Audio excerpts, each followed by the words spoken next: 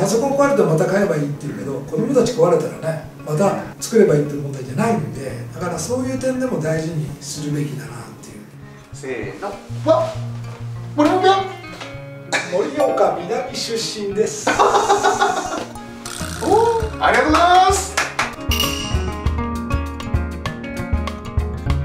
ぜひ教えていただいていいですかね。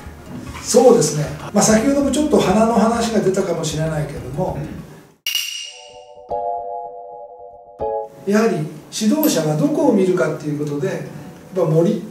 今あの NHK の朝の番組でも「おかえりモネ」とかってやってますよね。気象予報士の話じゃないですけどあの中に山が海を育てるってあるんですよ。栄養分の中でだから海だけ見るんじゃなくてそういう山のつながりも見ればバスケットボールもいい選手を育てるとか強いチームを作るっていうのはもうちょっと違うところですね。森を見ていい花を育てる。綺麗な花を育てる。そこの森ってどんな風になってんだろうって。どういう生物がお互いに共存まあ中にはね逆に教職の部分もあるかもしれないけども自然ってすごいこうバランスが取れてですね。今あのそう自然界が温暖化で狂ってるっていうすごい災害も起きてますけどやはりその人間界全体を見てだからバスケットの本だけとかバスケットのなんとかだけじゃなくってもっと人間としてどうなのっていうところを見るっていうことは花だけを見るんじゃなくて森を見た方がいいんじゃないですかっていうことにつながると思うんですよ、うん、で子供は宝だってみんな言うんですよ。ね宝って本当に宝なのに大事にしてんのかよって言葉では簡単なんだけどやっぱりそこら辺ももうちょっと指導者も、まあ、いつもいるからね宝だと思わないでしょうね部員がいっぱいし。で親も子供と産んでからずっと一緒にいるから宝だと思わないでしょでもなくしてわかるんですよね何でも。いろんな事故でお子さん亡くしたとかってものすごいこう途方に暮れるわけですよね。だからいい時に気をつけましょうって子供がいる時にこの子供が亡くならないようにちゃんと育っていくようにすればいい。大体いろんな事件もね負けると起きてくるんですよ。負けるとね先生が叩いたとかねなんかそんな問題で。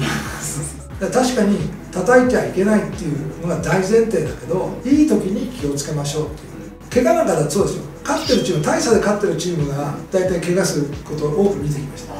もう負けないから。でも負けたチームは最後まで頑張ってくるけど勝ったチームは勝った勝ったって言ってふわっとなってる時にバキってね怪我とかあるんですよ。僕の経験では。だから大差で勝ってる時に注意しますよね。おい集中しろって怪我するぞってのはあのタイムアウト取らないけどベンチで常に言ってます。怪我するよって。だからそういうチームがいい状態にある時にどうするか。だから今コロナ禍だからコロナの時に、まあ、いい状態じゃないけどどうするかっていう。今までと同じようなことをやってちゃダメでしょっていう。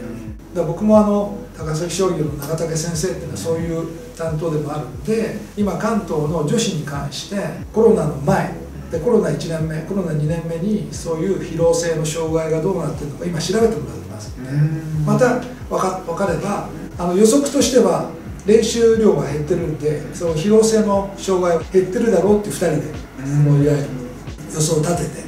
まあ、これからどういう結果が出てくるかわからないですけどだからここでコロナが収まった時に活動した時に今までと挽回とばかしに同じようにガッとくると僕はまた怪我が増えると思うんですね。だからそういう部分も宝なんだから子供たちを大事にしなきゃいけないんだからやっぱりそういうのは傷ついちゃいけないんですよね。で僕はあの生ものだからって言うんですよ。生ものっていうのは返品効かないんですよ普通の。パソコン壊れてまた買えばいいっていうけど子供たち壊れたらねまた作ればいいっていう問題じゃないんでだからそういう点でも大事にするべきだなっていう。でその大事にするっていう姿勢を見せればまあちっちゃな問題もいっぱいあると思うんですよね。子供たちから見て先生とか親から見て先生とか。だからそこら辺が大きな部分をしっかり人間としての部分をしっかりしてればいろんな保護者がいると思いますけど指導者も理解してくれるだろうし指導者もいろんな親がいるなっていうのを理解するしっていうことが今回発信できることですね。でこれが最後の優勝の時のこれみんなメダル持ってるでしょ？あのエントリー以外のメダル屋さんにメダルをねあの頼んであのごっつぁんです。うちはこれを甲子園の下村先生に教わってお星沢君メダル12個しかないからねエントリー以外の子にもメダル作ってあげるんだよっていうはという将棋